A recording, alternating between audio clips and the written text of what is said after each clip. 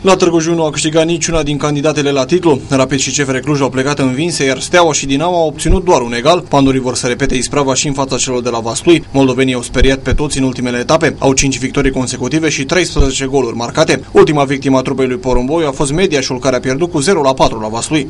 O demonstrație care te pune într-adevăr pe gânduri, dar nu era nevoie de, de acest meci ca să mă edifice asupra valorii și forței de, de joc a, a Vaslui, o echipă cu compartimente echilibrate și în apărare și în linia de mijloc, nu mai spun de, de atac care este letal. Atacul letal e condus de brazilianul Wesley, golgheterul campionatului cu 24 de reușite. Tem Vangera are 7 goluri, Adailton 6, iar pasele vin de la magicianul Sămărtean nici nu știi pe, pe cine să, să mar, marchezi în, în această situație. Unele echipe și au măsuri să-l anihileze pe Gorgeterul la zi Adailton, dar, ă, ăsta Wesley, dar apare Adailton, apare Tevanjera, apare Sunt Mărtean, poate să apară în Doie sau Stanciu și așa mai departe.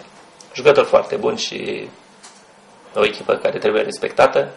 Grigoraș mizează însă pe orgoliul elevilor săi, aceștia vin după un eșec la Galați, dar nu uită nici ce au pățit în tur la Vaslui. Atunci Batina a egalat în minutul 90, dar moldovenii au câștigat în prelungiri. Poate meciul de aseară i-a pus puțin pe gânduri și pe, pe jucătorii noștri și zic eu că vor avea o atitudine pozitivă la meciul cu Vaslui și vom încerca să să câștigăm și eu sper, sper din tot sufletul că nu, nu vom pierde. Am, am convingerea că nu vom pierde această partidă. Meciul dintre Pandurii și Vaslui se joacă joi seara de la ora 20.